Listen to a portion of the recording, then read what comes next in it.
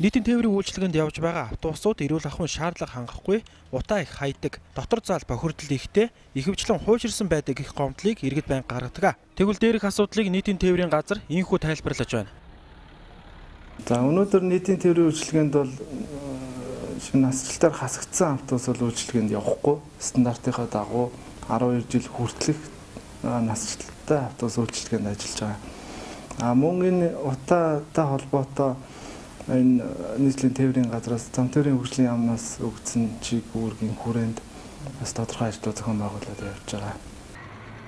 Ингэхдээ зөвхөн 2004 оноос хойш буюу 12-оос бага жилийн насжилттай автобусыг үйлчлэгэнд явуулж байгаа гэх мэдээллийг өгч байгаа юм. Гэтэл нийтийн тээвэрт үйлчилж байгаа зарим чиглэлийн автобуснууд дотор зааландаа хүртэл утаа хайж байгаа нь парк шинжилэл зайлшгүй хэрэгтэйг онцлоод байгаа юм а.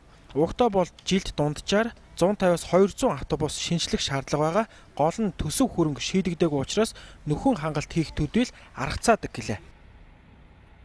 За ер нь цаашид бол нийслэлийн засаг даргын мөрийн хөтөлбөр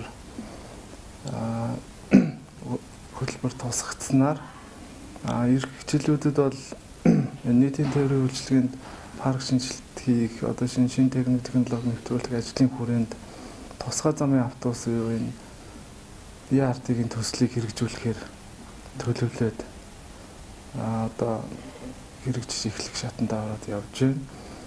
За мөн энэ насжилтаар хасагдсан автобуснуудын оронд оронд одоо шинэ нөхөн хангалтаар хувийн хвшлийн аж ахуйн нэгжүүд маань өөрийн хөрөнгөөр нөхөн хангалт хийх ажлууд бол тодорхой тооны автобуснууд бол нөхөн хангалт хийгээд явж идэг.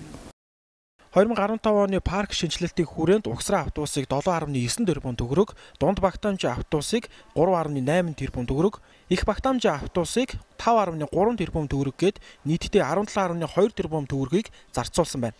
Харин 2017 онд 200 сая долларын өртөг бүхий тусгай замын автобус төслийг хэрэгжүүлэхээр болжээ. Гол нь өнгө үзэмжтэй эрүүл ахуйн шаардлага хангасан шинэ автобус байх нь чухал гэдгийг өнөөгийн нөхцөл байдал харуулж байгаамаа.